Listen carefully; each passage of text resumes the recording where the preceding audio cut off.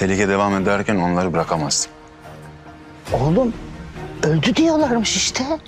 Sen daha neyine inanmıyorsun? Doğru olanı yapıyorum. Güven bana. O adam ölmüş olamaz anne.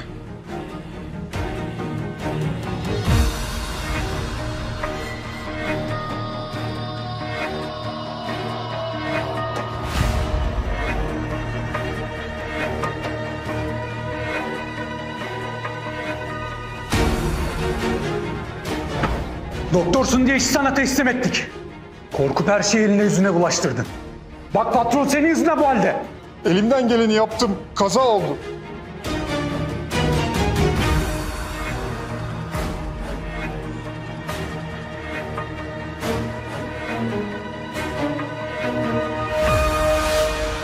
Bu hapishaneye geldin diye çok şanslısın.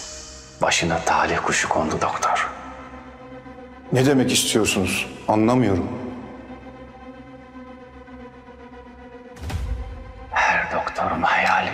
Yaşayacaksın. Ölüyü dirilteceksin doktor. Adamlarım sana bir zehir, bir de panzehir getirecek. Onu bana vereceksin. Ben de öleceğim. Yani aldığım ilaç iki dakika boyunca vücudumun bütün işleyişini durduracak. Geçici bir eks hali gibi düşün. Beni sana revire getirecekler. Öldü diye ilan edeceksin. Ama hemen panzehiri yapıp beni hayata döndüreceksin. Yok olmaz. Yapamam.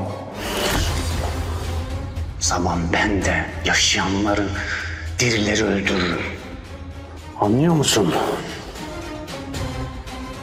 Dediğimi yapmazsan aileni katlederim. Ama yaparsan da onları yaşatırım.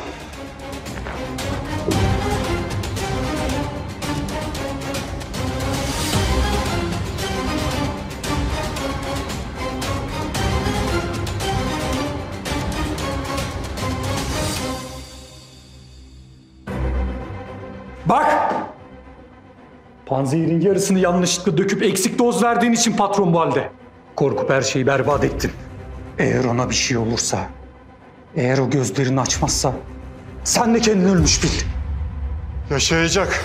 Size yemin ederim toparlayacak.